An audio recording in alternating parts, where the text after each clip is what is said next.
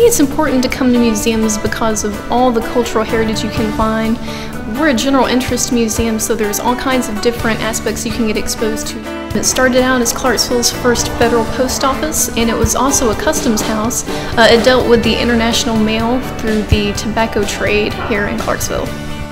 Our first permanent exhibit is our Challenge and Champions Sports exhibit.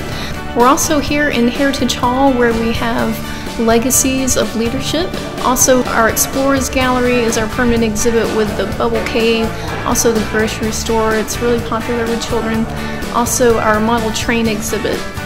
Throughout the week, you can come and press the buttons around the display.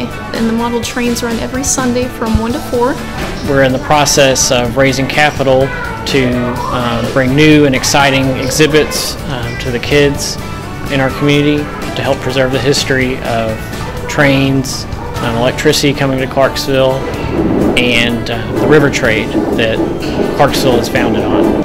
We also have a lot of rotating exhibits. We have about 30 a year. We rotate about every other month, so there's always something new to see. There are two different opportunities every month to come see us for free. We're open from 5 to 8 on the first Thursday of every month. That's for the Art Walk downtown. Also, on the second Saturday of every month, we have our second Saturday free admission day. Well, we also offer very affordable memberships, and we also do a special military rate.